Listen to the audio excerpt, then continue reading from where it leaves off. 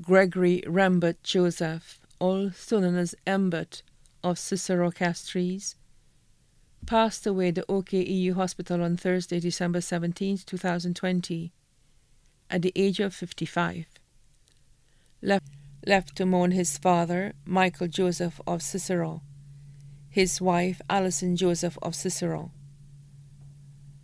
his children, Crystal Joseph, Tessa Joseph, Sean Joseph, Amber Joseph, and April Joseph, all of Cicero.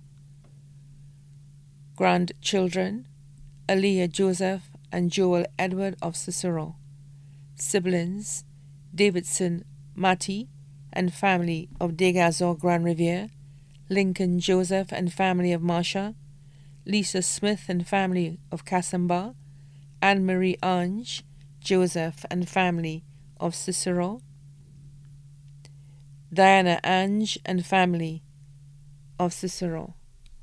Step siblings Patricia Clammy and family of Guadeloupe, Alan Ange and family of Balata, Marcus Casimir of Cicero.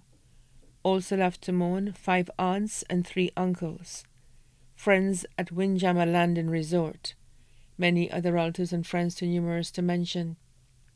Due to COVID 19 protocols, Gregory Ramburt Joseph will be laid to rest in a private ceremony, surrounded by closest friends and family, on Monday, January 4, 2021. His body now lies at Ram Valley's funeral parlor, Calvary Road, Castries.